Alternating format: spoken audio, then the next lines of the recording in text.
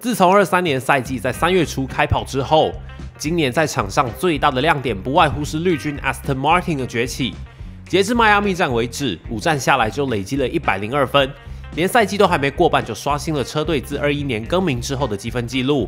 龙嫂在开季之后五战四上颁奖台，场均都是稳定且刚好的十五分，目前累积七十五分，还是自一零年积分规则更改后的最佳开季战绩。他老兄已经四十一岁，还有这般成绩，真的是有够鬼。加上 AMR Twenty Three 赛车在 Dan Fellows 主理开发下，成功让 Aston 脱胎换骨。今年要挑战同一个车队线三十二年来最佳年度战绩，还真不是问题。不过在 Aston 及龙嫂主场上演惊奇，不断收服车迷的同时，外传目前暂时找不到合作对象的本田，有望在二六年之后与这一支以 Silverstone 为根据地的绿意军团重新合作。消息一出，毫无意外，在各大社群又掀起一阵热议。Aston 将会创造下一个冠军王朝，或是迷因组合重现等论点，突然在车迷间发酵。因此这一集的重点就会放在马本组合在二六年赛季到底有没有谱，通常也会顺道回顾一下同一个车队线当中的连线过去的战绩。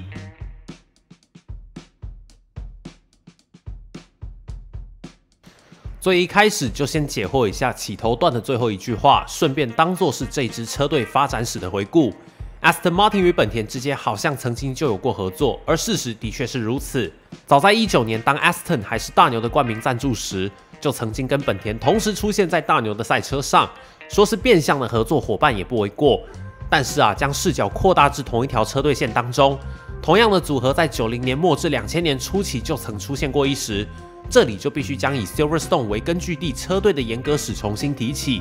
当 Eddie Jordan 创立 Team Jordan 进军 F1，同年让 Michael Schumacher 有了首登最高赛事的机会。之后，除了九二年换用三叶 V12 让车队跌落谷底外，从 Hart 再到 Peugeot 时期都算是中游集团的固定成员。然而，在九七年赛季之后，动力供应商 Peugeot 在 Prost 车队以及老板 Alain Prost 的招手下，组成了 F1 法国队，这让原先 Prost 车队的动力供应商 Mugen Honda 必须另寻高就。最终是与 Jordan 达成了一纸两年合约。那当然，这一集是在讨论 Aston 跟本田的潜在结盟。有关本田与 Mugen 在 F1 的严格及两者之间的关系，这里就先不多做说明。不过，Jordan 与 Mugen 合作之后，并未因此起飞。上半季的表现甚至比前一季还要糟糕。所幸在包含 Gary Anderson 及 Mike Gascon 等工程要角陆续加入之后，战绩终于才有了起色。Damon Hill 及 Ralph Schumacher 在下半年赛季屡次能替车队得分外。在大于搅局且争冠要角陆续出事的比利时站，帮助车队拿下首次正赛一二名。加上意大利站，Ralph 又站上一次颁奖台，靠着下半季谷底反弹，让车队战绩一路上升至第四。紧接在九九年赛季，除了一九九赛车整体竞争力的提升外，因为前一季比利时站的 Team Order 风波，让 Ralph 转投威廉士。同一时间，Jordan 也从威廉士接收了前一季表现不佳的 Heinz Harald Frentzen。日后回头来看，这一次人事变动让 Jordan 等同是赚到。f r e n z e n 来到 Jordan 之后，仿佛获得解放。全年十六站赛程，站上六次颁奖台，包含法国及意大利两胜。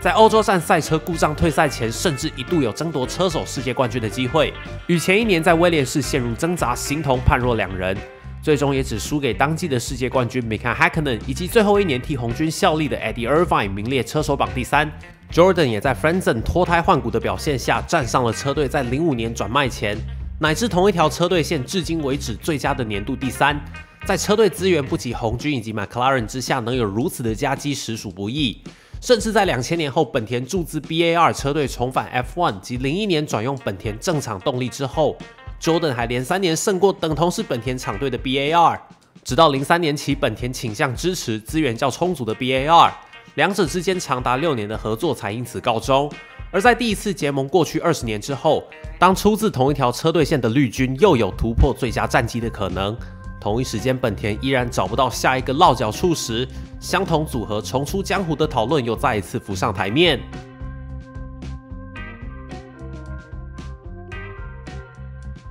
这回传出 Aston 与本田有望合作，确实有着极高的期待感。除了当前本田动力在整体竞争力上早已是全场最强，再者呢，就是现在本田正面临决定开发与否的关键期。回到二一年赛季尚在进行之时，本田宣布以企业发展转型为由，在年底退出 F1，不过仍会以动力技术合作伙伴的身份持续提供大小牛支援，直到二五年为止。然而在二一年，当 Verstappen 帮助大牛拿下车手世界冠军，以至于二二年当大牛成为场上实力最强的车队时，从季初只有 HRC 字样变成本田的 logo 重新贴回赛车上。可见在大牛强势的表现驱使下，本田对于退出一级方程式的决定早已受到动摇。果然，在二二年赛季结束后的一个月，本田也正式向 FIA 提交了二六年动力规则下的参赛与开发计划。言下之意就是本田还不打算就此从最高赛事一去不复返。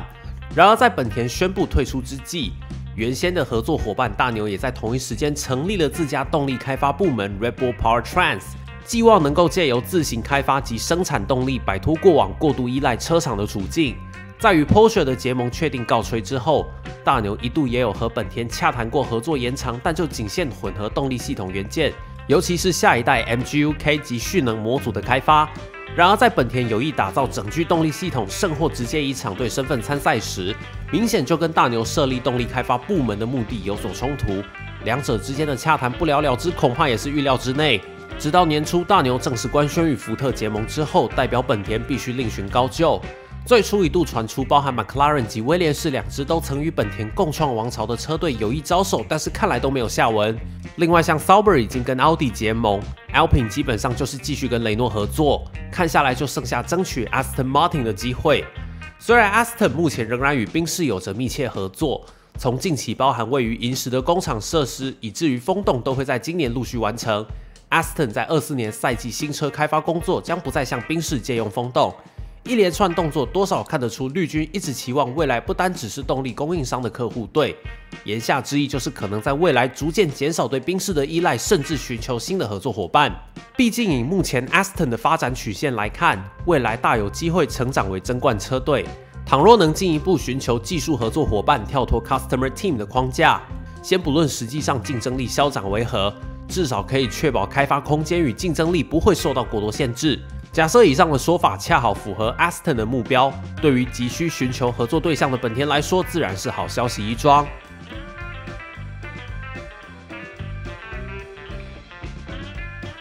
Aston Martin 跟本田这对听起来就是准世界冠军的组合，确实有着极高的期待感。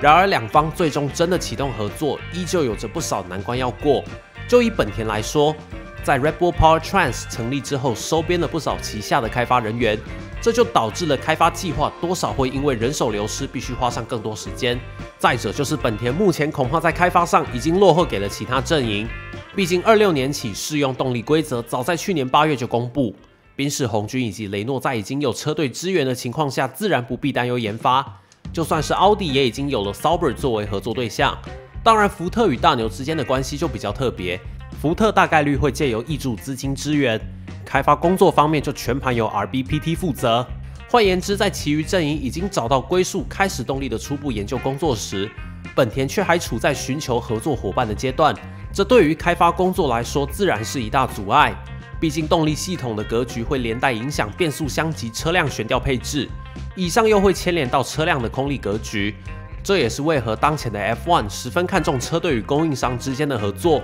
即便下一代动力系统限制会更多，且复杂度将会较当前下降，研发乃至准备时间不足，仍然会造成影响。这点本田肯定感触最深。毕竟一五年重返 F1 时惨到一塌糊涂的其中一个原因就是整备期严重不够。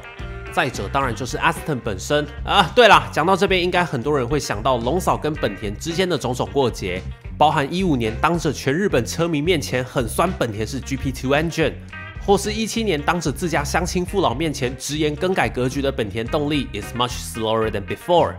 或是在同一年 Indy 500因为引擎挂点退赛后再度对本田开喷，本田跟龙嫂之间结下的梁子有多大，应该不用多说。当然啦，这里讨论的是二六年之后的事，届时龙嫂已经四十四岁，会不会还在 F1 出赛就不多做猜测。当然，Aston 的问题就跟车手无关，而是跟高层的态度有关。这里就必须提到当前 Aston 技术部门主席 Martin Whitmarsh，在一五年 McLaren 与本田结盟当中就扮演了牵线者的角色，与本田之间多少有着一定的关系，加上两者之间的合作本来就是技术层面居多，因此确切来说，Martin Whitmarsh 的态度多少也会对这起潜在的合作案有一定的影响。当然，目前这两大阵营的结盟消息都还只停留在指纹阶梯响，不见人下楼的阶段。包含 Aston 及本田都还尚未有更进一步的消息。不过，在当前的 F1，可是什么事都可能发生。在过一段时间之后，就会有更进一步的消息，都大有可能。各位又有什么想法？欢迎在留言区留下看法。那就下部片再见，拜拜。